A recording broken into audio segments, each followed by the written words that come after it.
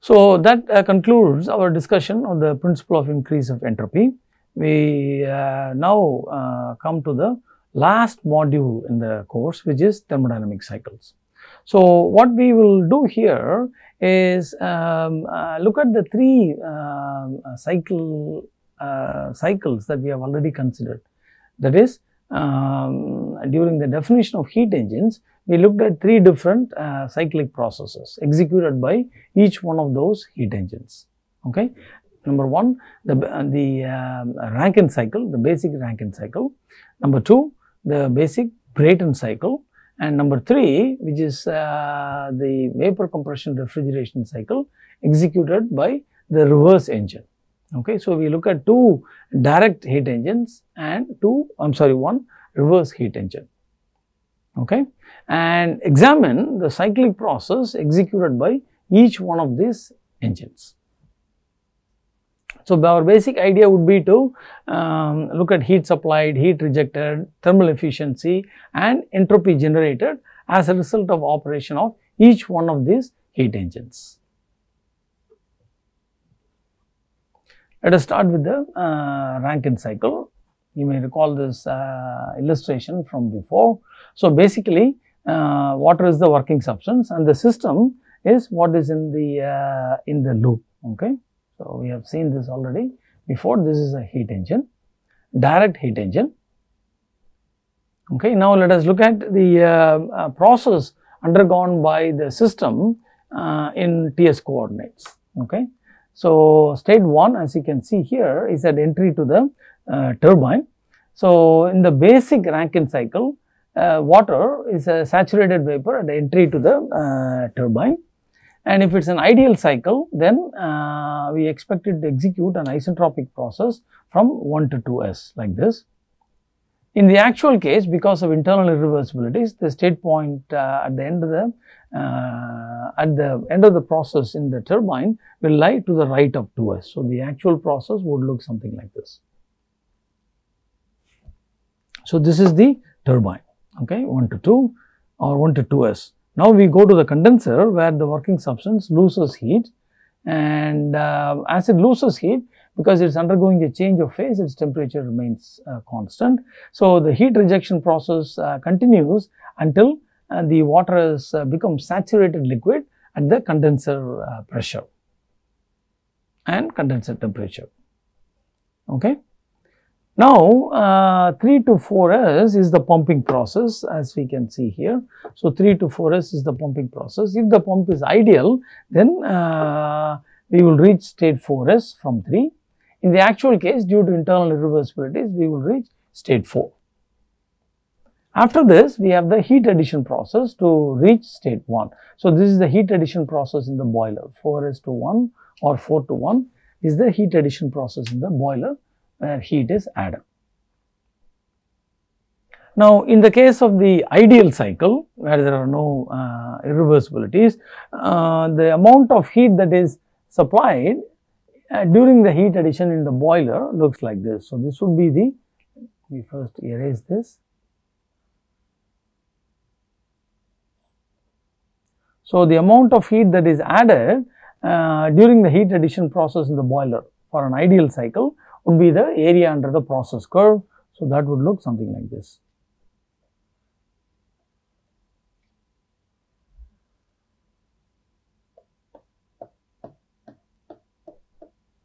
So, that is the, so this is the uh, heat that is added.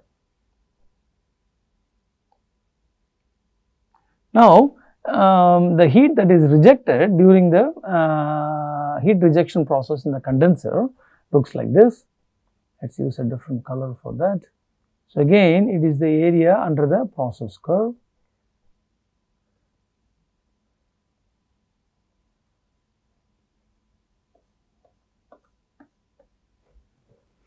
So, the net heat that is added uh, during the cycle is the difference between these two and that is this inner area here. Okay, Let us denote that with a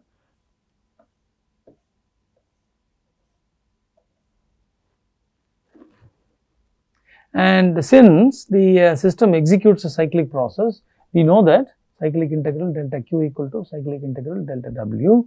Since this area that we have shown in green is the uh, net heat added in the cycle that is also equal to the net work that is generated during the cycle. So, the area enclosed in this uh, in green or shaded in green is actually the net work that is um, generated by the cycle. Okay. Now, in the basic cycle as I said before the um, uh, working substance leaves the boiler as a saturated vapor, but uh, in the actual cycles it will always leave with a certain amount of superheat and the TS diagram for the superheat uh, cycle Rankine cycle with superheat looks like this. So, the pressure remains the same now state point 1 has moved further up on the isobar corresponding to the boiler pressure. So, basically this pressure this corresponds to the uh, boiler pressure and this corresponds to the condenser pressure. So, the cycle operates between these two isobars.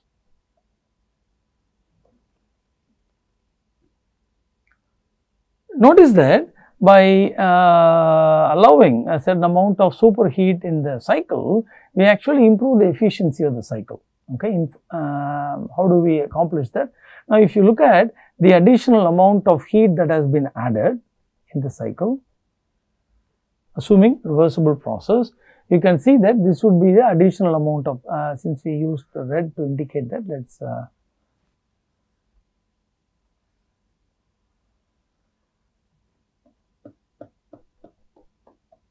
So, this is the additional amount of heat that uh, we have been able to add as a result of uh, superheating the steam. Now, the additional amount of heat that has been rejected looks like this.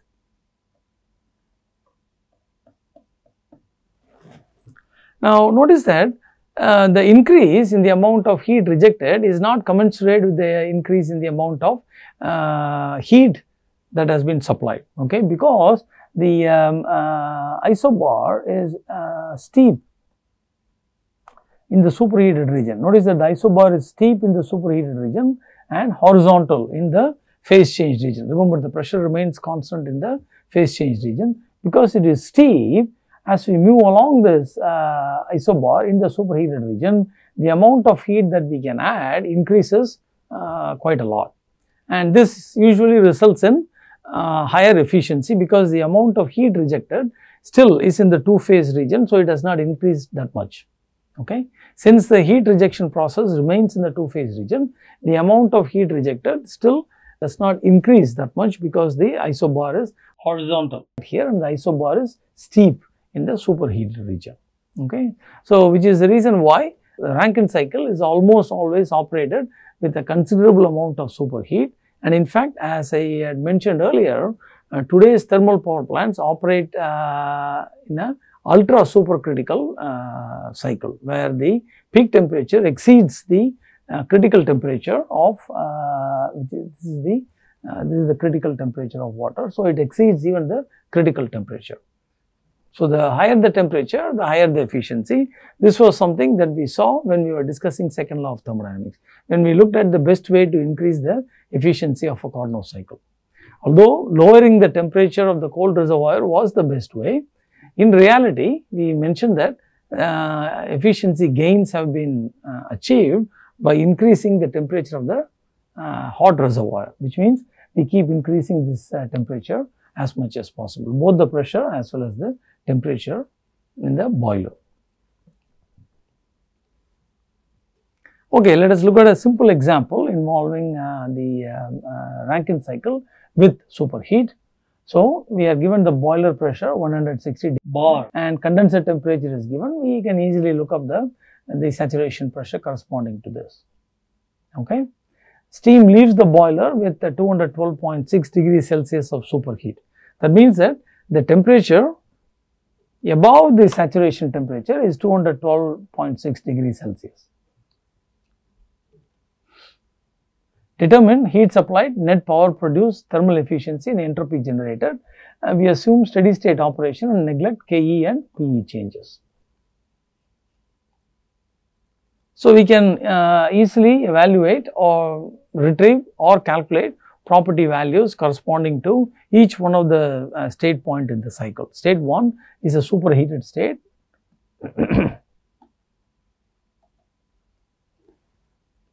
state 2 is most likely will be in the saturated mixture region.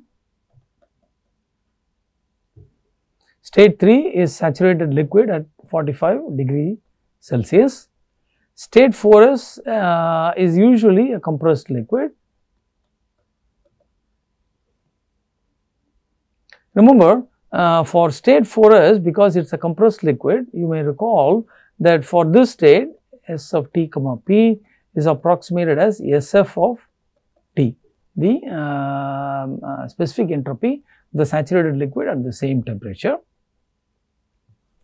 And this um, has to be evaluated once again by using the fact that this is a compressed liquid state.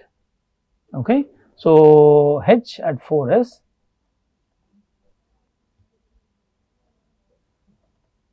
You may recall that we had dH equal to, I am sorry, dH equal to VdP. So, if I apply this to process uh, 3 to 4S. So, if we apply this to process 3 to 4S, we get H4S minus H3 equal to V 3. We assume that the specific volume remains a constant because it is a uh, liquid and this may be written as P 4S minus P 3. Now, P 4S is nothing but the boiler pressure, P 3 is the condenser pressure. So, we may evaluate H 4S from this expression. We have to use this expression to calculate H4S because the temperature at the end of uh, the pumping process 4S is not given. Okay. If the temperature at the end of 4S were known, then we would have evaluated H4, H4S. If T and P are both known, then we would have evaluated this as UF of T plus V times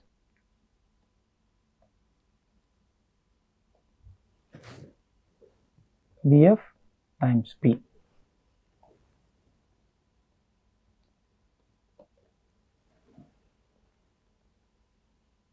Because the temperature is not given, we actually use this expression to uh, evaluate uh, the, uh, the specific enthalpy at state 4s.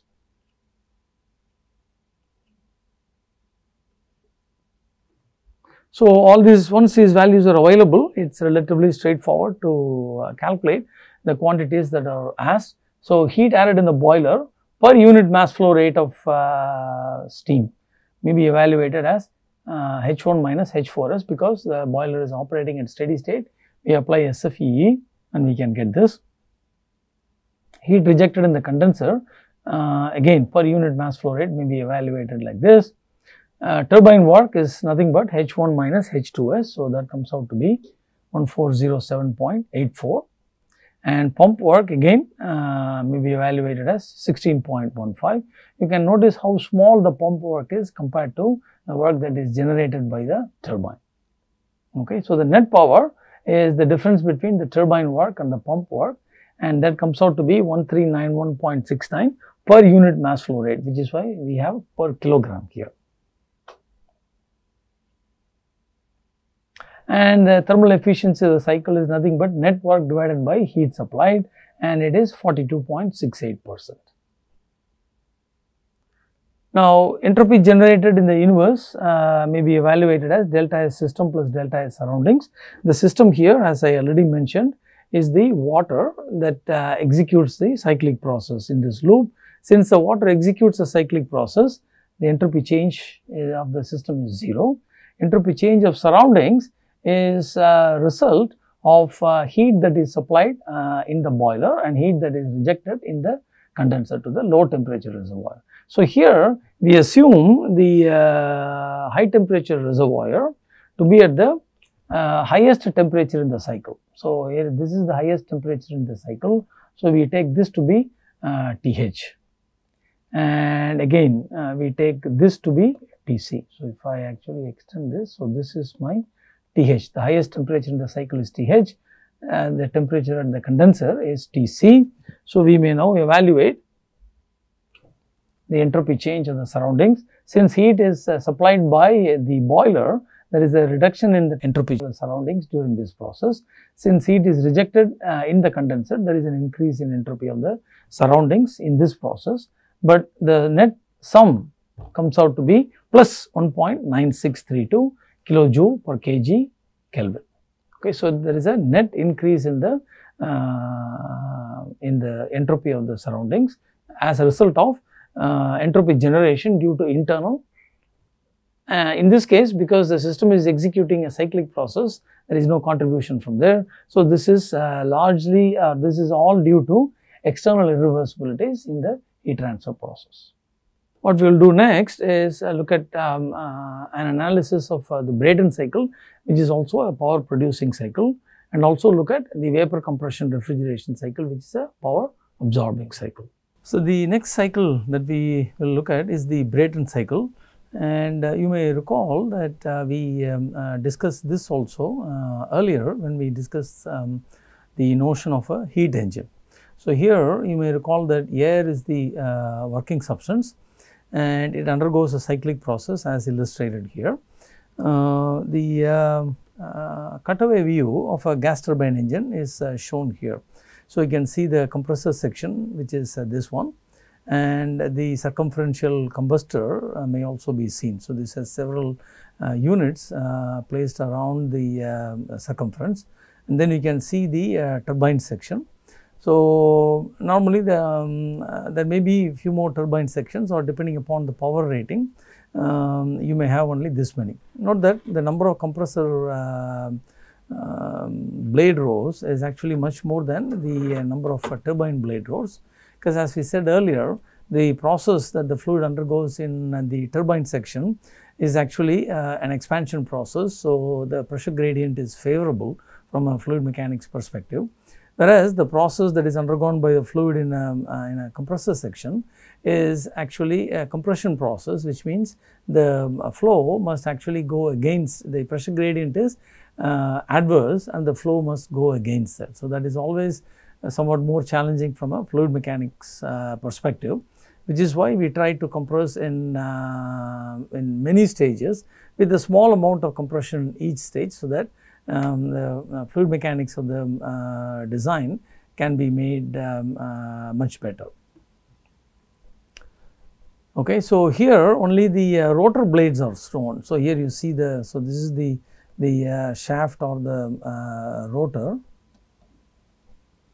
and you can see the blades are mounted on the uh, rotor. The stator blades which actually come in between these uh, rotor blades are not shown in this uh, in this exposed view and you get a, an idea of about the size of the uh, blades and the rotor and so on uh, from this uh, figure. Okay. So, in the simplest form of the cycle as we mentioned earlier air is taken into a compressor. So, the air actually executes a cyclic process in a closed loop. So, the air at entry to the compressor usually is at atmospheric pressure and temperature okay and then it is uh, compressed to high pressure um, and relatively high temperature due to the compression process at uh, state 2. Uh, heat is then added in the combustor, uh, fuel is burnt and uh, heat is added in the combustor. Note that when we actually treat this as a heat engine, we treat the combustor as a heat exchanger. So, the air is in an enclosed circuit and heat is added to the air. So, um, in this manner only we will be able to um, uh, take the air as a system.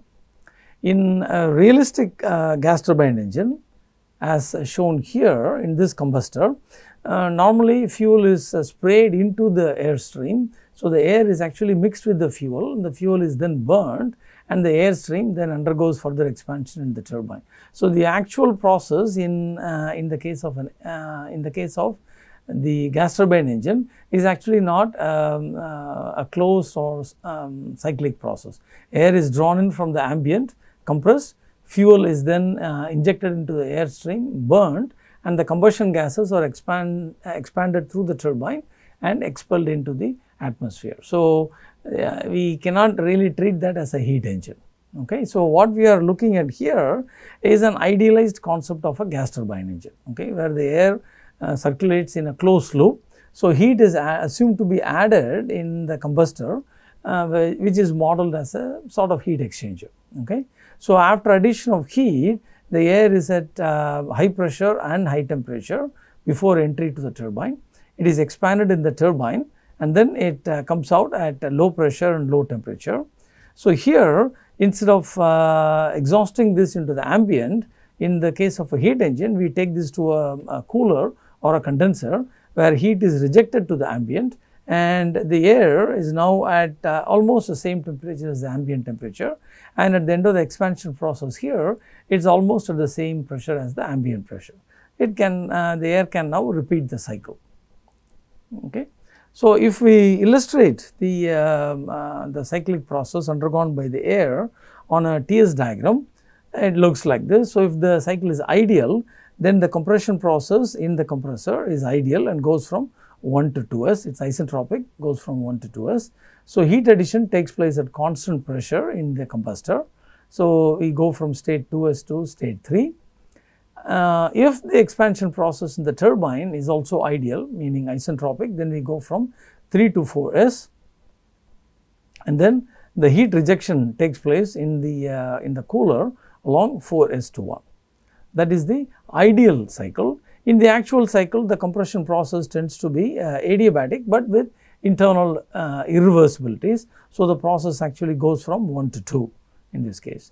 And in the case of the turbine also the uh, expansion process can be assumed to be adiabatic, but with internal irreversibilities. So, the entropy increases as a result of the uh, irreversibilities and the actual process goes from 3 to 4. Now, in the case of the ideal cycle, as we saw before with the Rankine cycle, um, the heat added during the cycle assuming uh, that there is no, uh, I am sorry,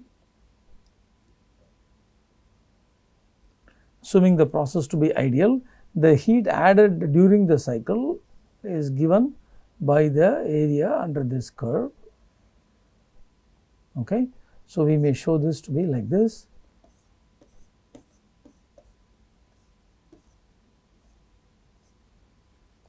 That is the heat added.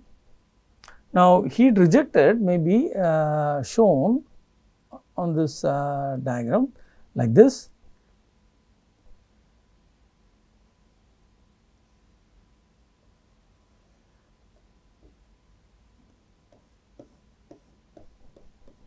So, that is the heat rejected and the difference between the two is the net heat and that would be this area here. So, that is the net heat that is supplied uh, during the cycle and from uh, first law for a cyclic process net heat is also equal to net work in the case of the ideal process. So, uh, the area that is uh, shown uh, shaded in pink is actually the net work that is developed uh, during the cycle assuming all the processes to be ideal. So, we are looking at the simplest possible cycles, uh, many additional um, enhancements to the cycle are always carried out to improve the efficiency of the cycle uh, you will probably uh, learn those things in the next level thermodynamics course. The effect of pressure ratio on the performance of the cycle and the effect of the, uh, the peak temperature of the cycle which occurs at uh, state 3 before entry to turbine, effect of that on the efficiency of the cycle and the uh, uh, specific work output of the cycle. These are very, very uh, important uh, performance parameters of the cycle. So, generally for these cycles the uh, performance parameters are efficiency, uh, specific work output. So, this is the specific work output that is work output net work output per unit mass of working substance. This allows us to uh, draw inferences on uh, scaling aspects of the cycle. So, if I can generate um, um, say a large amount of power with a small uh, amount of uh, working substance that means that the plant size can be small. So this actually affects the specific work output affects the plant or equipment size. So that is an important parameter. And of course, entropy generated during the process is also an important uh, quantity and we would like to have an idea on uh, how much entropy is generated uh, as a result of uh, the cyclic operation in, uh, in, the Brayton cycle. And we will uh, work out an example and show how these things may be evaluated. So, an ideal Brayton cycle operates with a pressure ratio of 30 and a peak temperature of 1300 Kelvin. Air is the working substance and it enters the compressor at 100 kPa and 300 Kelvin. So, we are asked to determine heat supplied, power output, thermal efficiency and entropy generated. Okay. So, we are given that P1 is 100 kPa, T1 is 300 Kelvin, the pressure ratio Rp is given to be 30 and T3 is 1300 Kelvin. Notice that the uh, Brayton cycle also just like the uh, Rankine cycle operates between these two isobars and the pressure ratio of the cycle is nothing but the higher pressure combustor pressure or compressor exit pressure divided by compressor inlet pressure that is the pressure ratio of the cycle that is given to be 30. So, assuming compression process to be ideal, we may uh, evaluate T2S as the temperature at the end of an isentropic compression process and we can get that to be 793 Kelvin. Notice that P2S over P1 is equal to 30. Similarly, T4S which is the temperature at the end of an isentropic expansion process in the turbine may be evaluated as 492 Kelvin and again the pressure ratio P4 I am sorry P3 over P4S. So, this is equal to 1 over 30 and the temperature at the end of the expansion process is 492 Kelvin. Now, by applying a steady flow energy equation to each one of these components in turn, we can evaluate the, uh, the required quantities. So, compressor work, uh, specific compressor work is nothing but H2S minus H1 and that comes out to be 498 kilojoule per kilogram. Heat added in the combustor per unit air mass flow rate is 512.263 again by application of SFEE to the combustor. Specific turbine work output comes out to be 816.387. Okay. The biggest difference uh, between um, the uh, Rankine cycle and, um, and the Brayton cycle is the amount of power that is uh, uh, consumed by the compressor versus the amount of power that is consumed by the pump. So, here you can see that the compressor consumes more than uh, half of the work that is or power that is generated by the turbine. In contrast, for the uh, Rankine cycle, we saw the pump work to be negligibly small compared to the turbine work. Okay. So, that is a big difference the as a, that and the difference comes as a result of the working substance. Here we use air as the working substance and that is a highly compressible substance. So, the power required to compress air uh, through a pressure ratio of 30 is quite high. On the other hand, in the case of the Rankine cycle, we are pumping water and since water is almost an incompressible liquid, um, uh, the power required to increase the pressure of water is actually uh, quite small. So, heat rejected may be evaluated as 194 kilojoule per uh, Kelvin. So, the net power that is uh, generated uh, during the cycle uh, comes out to be 318.27 that is Wx dot turbine minus Wx dot compressor 318.27 kilojoule per kilogram. So, the thermal efficiency of the cycle is nothing but net work divided by heat supplied and that is 62.13 percent which is much higher than the, uh, the value that we saw for Rankine cycle. And this is typical of uh, gas turbine power plants. They have uh, much higher efficiencies compared to Rankine cycles, but the amount of power that can be generated in a Brayton cycle is um, not as high as what may be generated in the case of a Rankine cycle. Because the Rankine cycle works with water and um, the enthalpy changes that we are looking at there were of the order of uh, thousands of kilojoule per kilogram. So, the power generated consequently is also much higher in a Rankine cycle.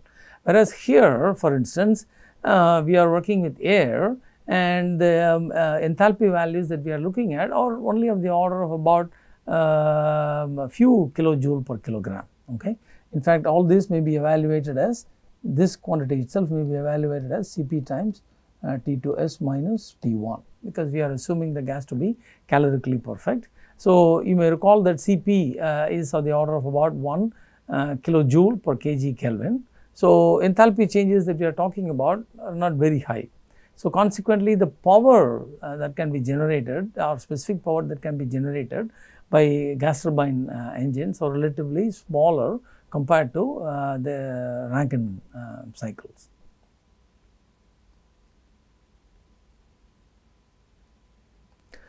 Now, the overall entropy that is um, uh, generated during the cycle may be evaluated as delta S system plus delta S surrounding. Here, the air that executes a cyclic process um, in the closed loop is the system. Since it executes a cyclic process, delta S for the system is 0 and the change in entropy for the surrounding may be evaluated as minus QH dot over TH, where QH dot is the uh, amount of heat that is rejected, uh, I am sorry, amount of heat that is supplied uh, in process 2 3 and since the surroundings are supplying heat to the system, the entropy of the uh, surroundings decreases which is why we see a negative sign here. The entropy change of the surroundings during the heat rejection process is plus QC dot over TC because heat is being rejected to the surroundings and the algebraic sum of uh, the two comes out to be 0.2526.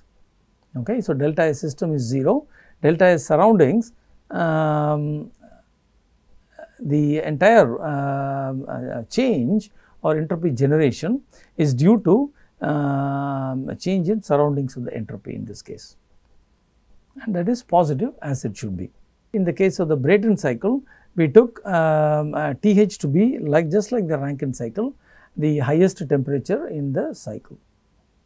So, this we took to be TH and the ambient temperature was taken to be uh, the um, uh, Tc was taken to be equal to the ambient temperature in this case.